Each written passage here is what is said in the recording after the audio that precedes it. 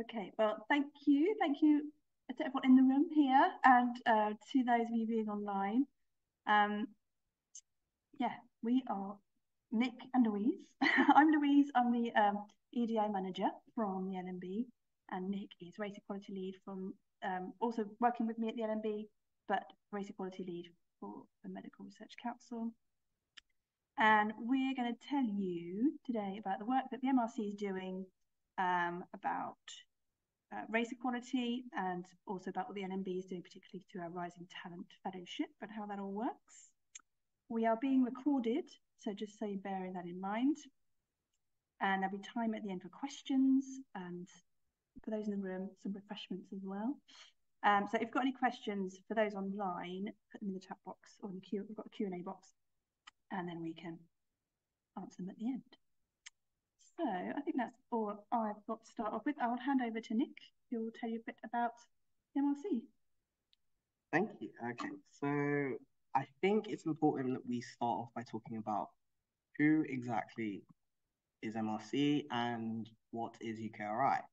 So UKRI or UK Research and Innovation works with the government to invest over £7 billion a year in research innovation uh, by partnering with academia and industry. Now, MRC falls within, as shown by this lovely diagram, falls within the nine councils of UKRI.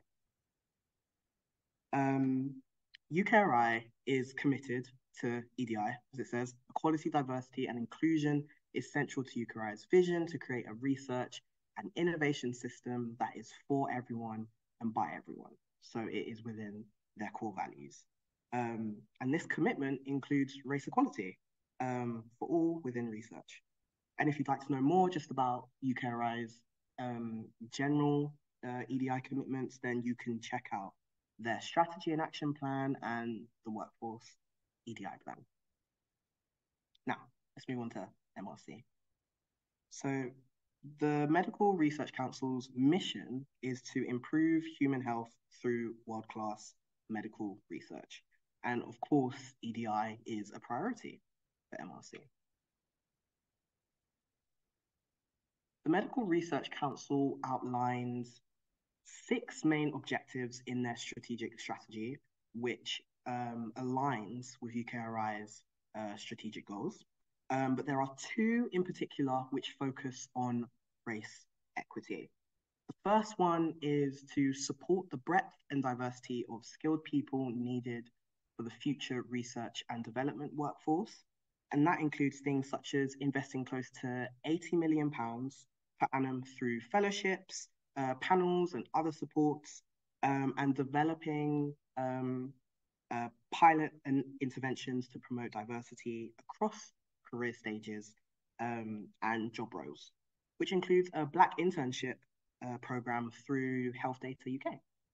And the second objective is to strengthen equality, diversity, and inclusion uh, to enable talented people to thrive. Um, and this includes things such as developing positive action initiatives uh, to increase representation, applications from underrepresented groups, um, and participation from said groups, um, as well as like rolling out and evaluating the active bystander scheme pilot uh, within MRC boards and panels. So this is a general overview of the EDI initiatives that MRC have been working on. But specifically for race equality, I'd like to focus on um, uh, the boards and panels and stuff that we've been doing. So uh, the scheme for boards and panels has officially been launched, which is really, really exciting. Um, for the board observer scheme, um, it provides researchers transitioning into independence uh, the opportunity to absorb, observe MRC boards and panels, and it prioritizes places for underrepresented groups. Um, and in terms of boards and panel association scheme, the board and panel association scheme will provide individuals from underrepresented groups the opportunity um, to gain experience in peer review um, and serve on an MRC funding board or panel. Um, and this will include minority ethnic groups. Um, and also benefit from a mentorship um, as part of their two-year program. We've also done stuff such as uh, invitations to prominent Black scientists to present in MRC seminar series, uh, financial support for BB STEM's bridge mentoring scheme, and also internships offered through summer diversity internship programs and the 10,000 Black interns. So now let's move on to this project, Black in Biomedical Research. Um, the Black in Biomedical Research project basically came about in response to the sustained underrepresentation of uh, scientists or researchers from Black heritage backgrounds across MRC, but also within the biomedical sector. Um, and I'm now the project manager for this initiative. So if you do have any questions, please let me know. I'm happy to answer them. So these are some of the actions of the research group. So of course, an advisory group for the project and to recruit a project manager, which is me, amazing. Um, a biomedical conference for minoritized scientists. This is something that we're doing in collaboration with Applied Microbiology International. Very, very exciting stuff. Um, the 10,000 Black Scientists Project, which looks at celebrating UK, um, globally actually, global Black scientists. Um, funding to support Black fellows through existing targeted partner schemes and networks. Um, so, ex example, the Sanger Excellence Fellowship, and also developing additional schemes, which we will talk about a bit later on. Um, uh, utilizing the 10,000 Black Interns program um, and funding for outreach organizations focused on pre-university students. Um, we're trying to make sure that we um, cover all areas of the career pathway. And so by looking at pre-university, they're just as important as the rest that we are looking at. Um, other actions include funding pilot conference and summer lab internships for Black students, uh, working in partner with LMB to develop the Rising Talent Fellowship, which is Louise will be talking about a bit um, later on, and opportunities um, for Black researchers to absorb, observe MRC boards and panels and game reviewer experience, which I spoke about a bit earlier in terms of the scheme that was just launched.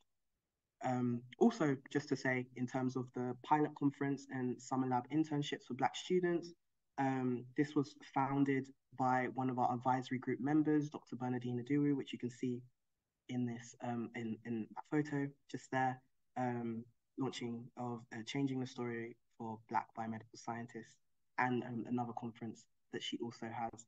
Um, I think this is taking place on the 20th of March, Cambridge University, no, Department of Chemistry. Yes. So um, if this, yes, uh, we will send details around in case uh, you would like to attend. So now we are going to look at um, the data. This is MRC data um, from 2015-16 to 2019-20 in terms of the academic year, and it shows fellow applications, so postdoctoral applications and award rates for by ethnic group. Now, if you look very carefully on the graph, we can see that there were 2% of applications made, or as it says, 30 um, applications made by Black individuals compared to, uh, let's say, 18% of Asian applicants or 5% of from mixed heritage. And similar proportions of those applying were awarded fellowships apart from Black heritage. Um, I will try and just move this so you can see there actually isn't um, in within you cannot see um, any black uh, individuals who were awarded fellowships within that time or um, because of data restrictions you're not able to actually see that number And now moving on to MRC principal investigator applications and award rates, it kind of shows a similar story um, in that similar proportions of those applying were awarded um, were awarded um, apart from Black heritage scientists. We've got 1% of um, PI applications were of Black heritage. Um, compared to 11% of awards went to Asian applicants when 12% applied. So there is a trend here from um, fellows and PIs. So these articles here show um, that this issue is systemic. There are systemic barriers to research. Um, there's research showing that Black scientists are less likely to hold professor posts, or that Black postgraduates are more likely to drop out um, of studying um, science. As you can see on one of the stats, we can see 3.5% um, of Black scientists hold a professor post. Um, I believe this has gone up um, by not much. It might be zero point something in the past year. Um, so it is showing an increase, but there is still more to be done. Um, this is why positive action initiatives like the one that we are doing um, are being creative to created to improve the barriers in academia. Now, across the sector, we can see a plethora of initiatives coming from um, across the UK and even particular fellowships, such as the Wellcome Sanger Institute Excellence Fellowship or the Royal Society Career Development Fellowship. And you've also got different initiatives and organizations um, being founded um, across the career pathway, such as Black in Cancer, Black British Academics, Black Women in Science Network, um, and research or funders such as ourselves who are also trying to do initiatives. Now I'm going to pass over to Louise to talk more about the Rising Talents Fellowship. Thank you. So yeah, there's lots going on across, and there's the one one that we um, missed off the slide was in the Wellcome Trust Accelerator Award, which um, I meant to add to that slide. So there's lots of initiatives going on across across the board. So we're very pleased to be joining that crowd at the LMB. So before before I start talking about the um, Rising Talent Fellowship, um, if you don't know much about the LMB, uh, we're the MRC Laboratory of Molecular Biology, and we're a renowned research laboratory dedicated to understanding important biological processes at the molecular level with the goal of using this knowledge to tackle major problems in human health and disease. We are situated on the Cambridge Biomedical Campus up near Addenbrooke's in a state-of-the-art building which has been specifically designed to produce to provide the right environment in which innovative medical research, translation and collaboration can flourish. And it is an amazing building, I have to say. Um, however, as with as we've heard, we are we have not escaped this issue. Um, we are looking to diversify our scientific community, and we've got a number of um, initiatives we're working on. But the one that we um, are really pleased to to be working on right now is is our Rising Talent Fellowship for Black Heritage scientists. Um, a bit of background before we sort of tell you all about it but this is, we did a bit of data analysis of our own. Um, we currently um, have 6% um, from our staff and student um, demographic um, disclosing as racially minoritized group and 0.5% disclose as from Black heritage. So we have got some big gaps to fill and um, this is this is part of what we're what we're working on at the moment. So overall, our objectives at the LMB are to raise awareness about issues to do with race equality through events and talks and resources. We're also um, devised a inclusive recruitment and onboarding process, which we're sort of launched in the middle of last year and, and still working on at the moment. And um, trying to represent different groups in our physical spaces um, so that we, we can yeah raise a profile of all the all the different types of people that work here.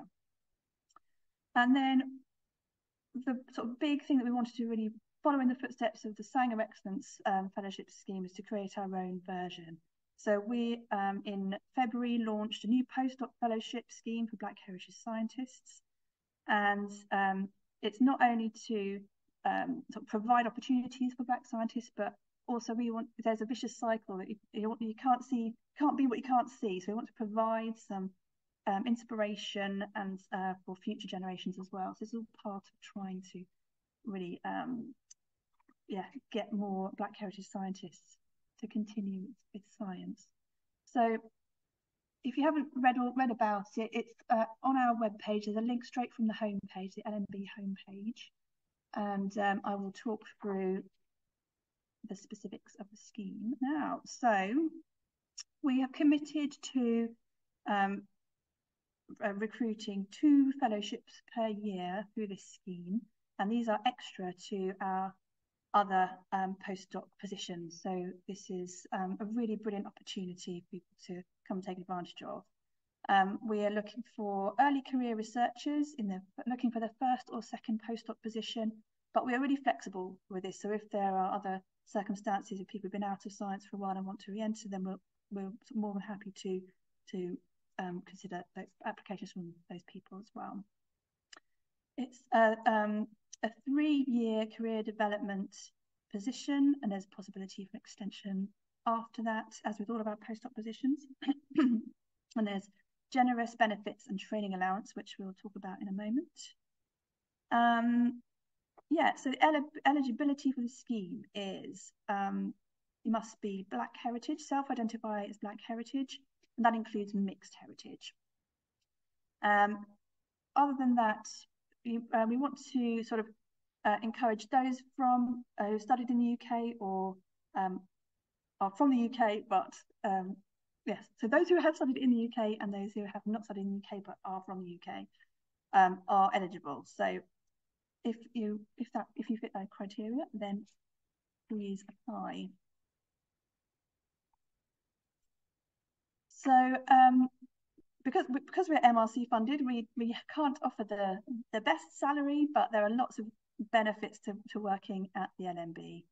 Um, there is a, a up to five thousand uh, pounds um, training allowance over the three years as part of this scheme. All research consumables are sort of extra. That's, that's all comes comes with. Um, we have an excellent pension package, which is 16% employer contribution, which is which is very generous, and 30 days of leave per year with an additional 10 and a half days paid bank holidays and privilege days. We are, um, so other benefits, there's um, options for flexible working. Um, we have employee assistance program, which includes um, confidential help, advice, counselling service, and lots of discounts and things like that. There's a cycle to work scheme. There's also options for loans for things like rent deposits, season ticket if you if you're traveling by train, things like that. And we can offer guidance on relocation as well. So understand that can often be a barrier um, to be able to live and work near Cambridge. So the premise of this scheme is to really try and break down some of the barriers that people might um, sort of feel um, about, about coming to somewhere like the LMB.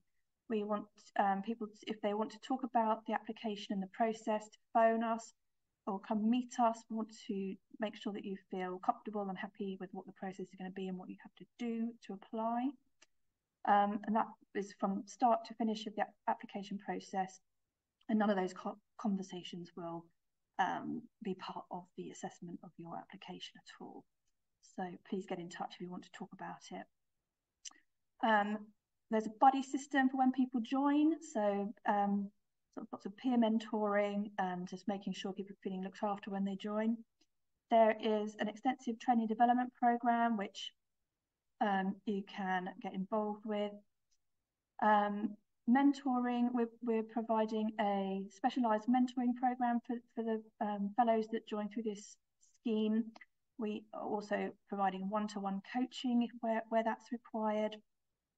And we're also setting up um, uh, ways to network with other fellows who are sort of joining schemes like this across other organiza- from other organizations so that with the aim to build a network and a peer group so that we provide support for each other. So, how to apply. So we've got the timeline across the top there. So the, the applications opened um, early February and they close at the end of March. Um, so we're about to do another promotional push. If you think anybody would like to know about it, then please send it send it on, send it out, and let everybody know. Um, by the end, but during April, we'll be shortlisting and um, interviews in May. Um, what we've brought in for uh, this scheme is you can apply using a traditional scientific CV if that's what you wish to do, or if you'd prefer to use a narrative CV, then this can also be used. And the difference is that with a narrative CV, it's um, more like uh, a detailed covering letter um, that you might attach to your traditional CV um, during application.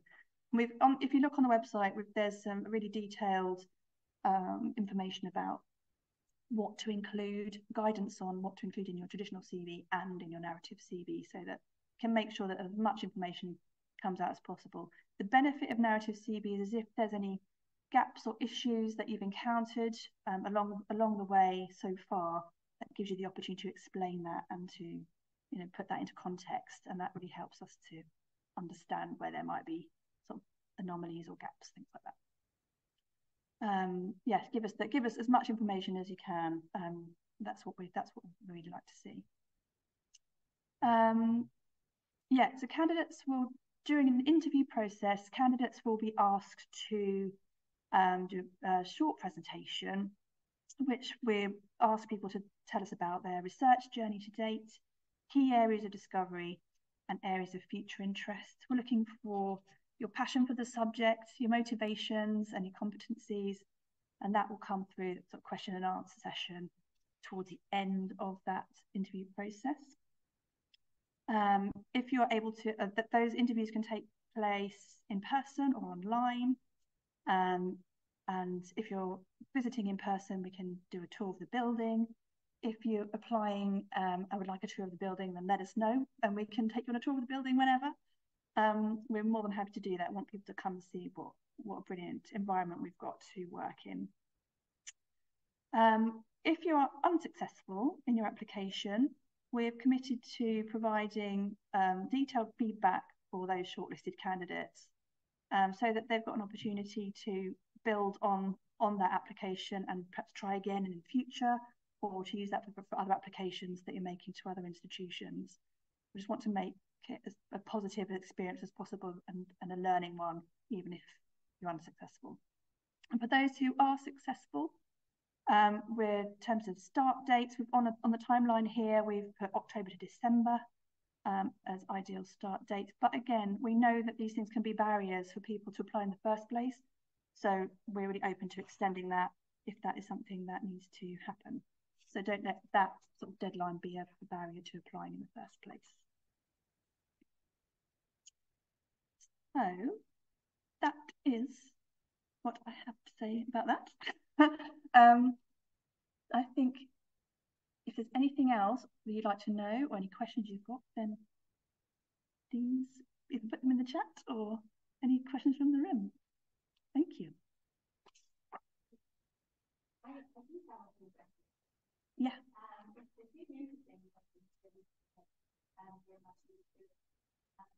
Um, I was just wondering uh, specifically about the horizon um, in terms of, um, um, I guess, two, two things. On the one hand, in terms of um, whether it's, for this particular program, is it more, um, whether to a part of in touch with potential groups, or perhaps just thinking more broadly about the, the, the, the groups that are working, um, and then on also secondly, probably about um, the timing, uh, the, the time scale that like if the same timeline is going to run next year, but it's going to be having currently the plan is to finish my um, commitment my March, and then probably going to my Bible sometime at the past, I don't think you need them sometime. Um, So on the second point, I'll answer that one first. So the the time we, it was every year, so we committed to every year until we you know, our data shows that we don't need to do that anymore. That's the current commitment. Um, obviously, we, we're going to review that, but that is the current commitment is to run it every year. So next um, spring will be the same thing will happen again. Um, and in terms of timelines, we um, you can, as long as you don't have to have completed your PhD, it has to be within six months. So like if you like in six months time, you can you, will be completing you'll you'll you'll fine to apply. Um, so yeah, that sounds like that would work fine if that's what you wanted to do. The first question, what was that again? Group leaders. That was a bit I missed out of my presentation, which was about group leaders. So so yes, so for this scheme, um, so we have a we have a scientific panel review panel. Um, so there's two ways you could do this. So if you already know which group leaders or areas that you're interested in. So at the LMB we have four scientific divisions.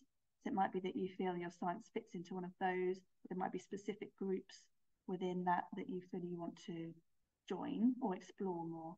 We'd encourage you to get in touch with those group leaders or get in touch with me or Nick and we can point you in the right direction. We can get some advice from the scientists here at the LMB to say, okay, well, we think that would that would work well with that person or that person. And then you can speak to those group leaders directly, which tends to happen, tends to be the done thing anyway.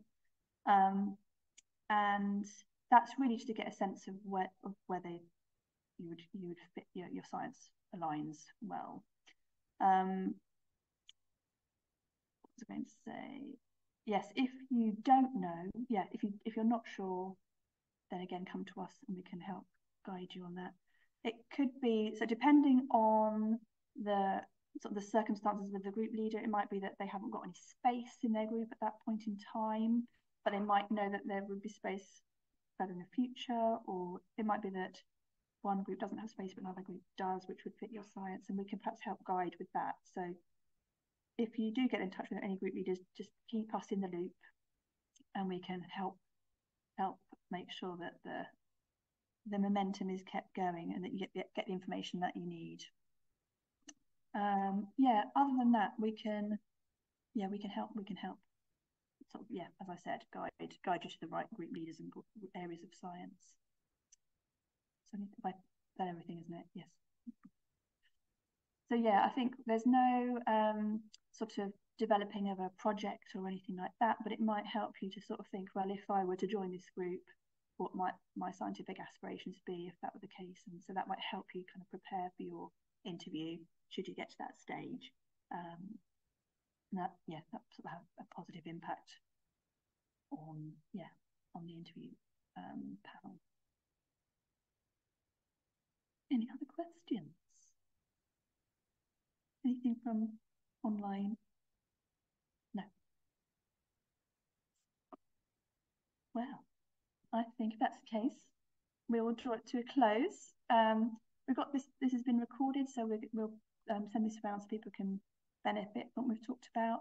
There's a QR code on here, so if you want to scan that, then you go straight through to the, the, the uh, fellowship page and where all the information is, is there waiting for you. Otherwise, thank you, Nick, for your um, input and also to everyone joining online and to our audience here at Jesus College. Thank you very much. Thank you.